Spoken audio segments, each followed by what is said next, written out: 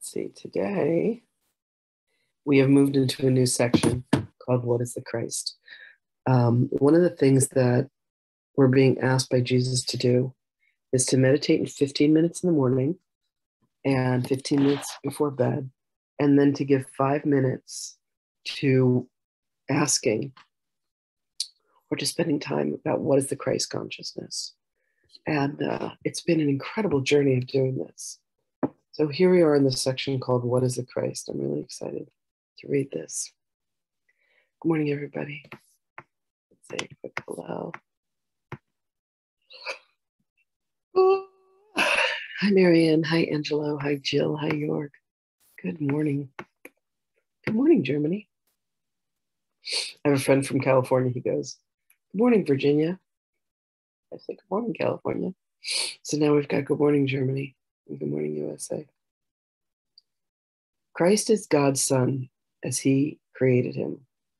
He is the self we share, uniting us with one another and with God as well. He is the thought that still abides within the mind that is His source. Oops, I just realized I didn't go live. Simultaneously. Oh, live on Facebook. Excuse me for one moment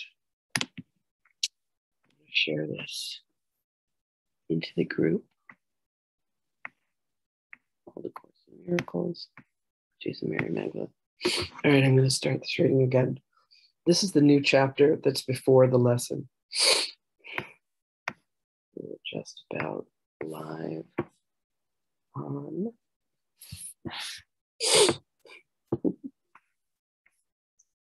Just about live on Facebook. Social media is really amazing.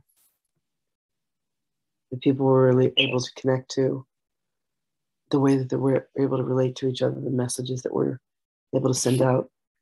I don't know. I just find the whole adventure of social media to be quite extraordinary. Okay, I'm going to start again. What is God's Son? What is, sorry, what is the Christ? Christ is God's Son as He created Him. He is the self we share, uniting us with one another and with God as well. He is the thought which still abides within the mind that is His source. He has not left His holy home, nor lost the innocence in which He was created. He abides unchanged forever in the mind of God. Christ is the link that keeps you one with God and guarantees that separation is no more than an illusion of despair, for hope forever will abide in him. Your mind is part of his and his of yours. He's the part in which God's answers lie, where all decisions are already made and dreams are over. He remains untouched by anything the body's eyes perceive. For though in him his Father placed the means for your salvation, yet does he remain the self who, like the Father, knows no sin. Home of the Holy Spirit and at home in God alone, does Christ remain at peace within the heaven of your holy mind. This is the only part of you that has reality and truth. The rest is dreams. Yet will these dreams be given unto Christ to fade before his glory and reveal your holy self, the Christ, to you at last. The Holy Spirit reaches from the Christ in you to all your dreams and bids them come to him to be translated into truth. He will exchange them for the final dream which God appointed as the end of dreams. For when forgiveness rests upon the world and peace has come to every son of God, what could there be to keep things separate? For what remains to see except Christ's face. And how long will this holy face be seen? When it is but the symbol that the time for learning now is over and the goal of atonement has been reached at last. So therefore, let us seek to find Christ's face and look on nothing else. As we behold his glory, we will know we have no need of learning or perception or of time or anything except the holy self, the Christ whom God created as his son. So beautiful.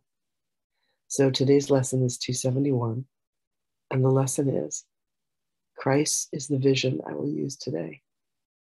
Exciting. Each day, every hour, every instant, I am choosing what I want to look upon, the sounds I want to hear, the witnesses to what I want to be the truth for me.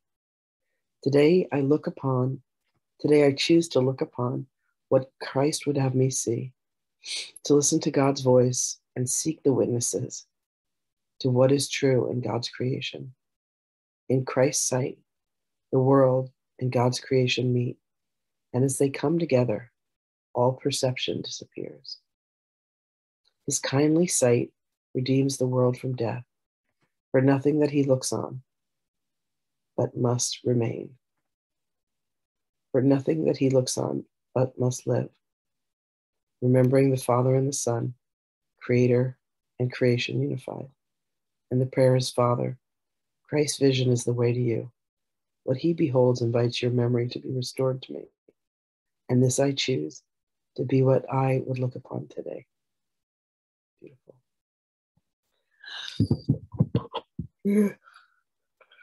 Here comes Mary Magdalene.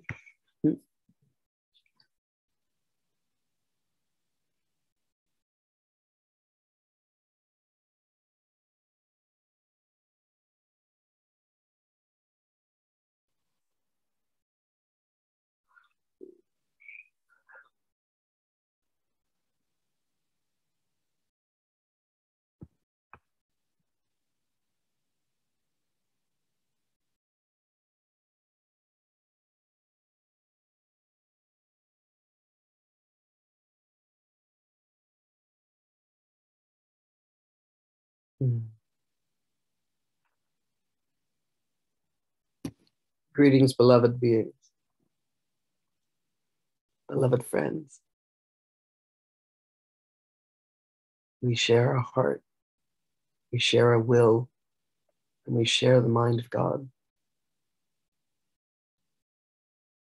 When you make that active choice to be a living embodiment of the Christ, when you choose to see as Christ sees, to love as Christ loves, to hear and to listen as Christ does, you hear the truth.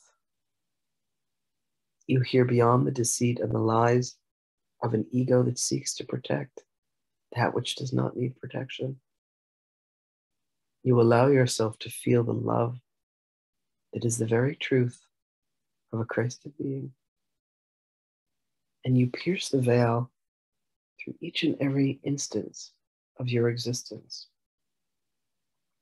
You see beyond the illusion and the facade to the truth. And the truth is the love that each being is. The truth is the love that you yourself are, that you have merely forgotten, that you have merely set aside for one mad notion of see seeing what it would be to create as God creates. And yet there are times that you have chosen to create and forgotten the essential ingredient, which is love. So you have created a world of madness, a world of illusion, a world of shadow, and a world of fear. To see as Christ sees beloveds is to allow yourself to be in the truth, in the flow of light that God is, the very breath that God breathed. It allows you to say, I have this person, and they have continued to annoy me, they have continued to upset me. They seem to be outside of me, they seem to be separate than I am. I don't know how to bring peace to this circumstance. And when you instead say, Allow me to see this through the mind of Christ, allow me to see this with the eyes of Christ, allow me to look upon this being as a Christ being, you come to see that they are a mirrored reflection of you, of some aspect of self that you have deemed unworthy to love, the part of you that you judge and then say, I will forget that I feel this way about myself. And instead, I will project this onto others who exhibit this behavior. And I will look upon them and I will judge them, for it is far easier to do. Beloveds, the way to unlock this conundrum is forgiveness. When you are able to forgive yourself and say, I myself have perpetrated and have perpetuated what it is that I am accusing of another. And I am willing to forgive myself. You have unlocked and opened up wide the gates of the kingdom of heaven, which is an internal journey. It lives within you, beloved ones. When you stop looking and finding fault in the world, when you stop looking and finding fault with yourself, when you are willing to see only the goodness, only the kindness, only the holiness of each being and of yourself, when you are willing to look upon yourself and say, I see a holy Christed being, then you are returned to your factory settings. Then you are returned to be the image of God that created you. Then you are returned to your holy breath that allows you to have the wisdom of love, the wisdom of life. And herein lies your salvation. That moment of forgiving what you had perceived to be outside of you, the moment of recognition of coming to see that it actually lives and exists within you. And then the compassion, the heart, and the love to say, I deem to love myself as God loves me, with a truth and a nobility and holiness. And you come to see that you are indeed this Christed being that we speak of. So go today, beloveds, and bring love to all beings in all circumstances. And most importantly, bring love to yourself. That is the very essence of your being. Go forth as a Christed being, beloveds, for that is the truth of you. Know that you go with high in all of our blessings.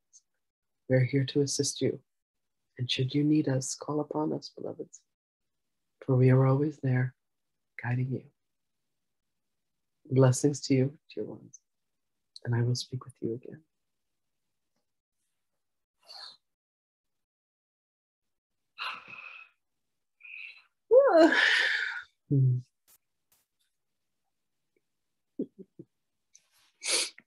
Love you guys. Thank you so much for being here. Thank you for all the little heart emojis and the love. I love you all. And I'll see you guys again tomorrow. Bye, everyone.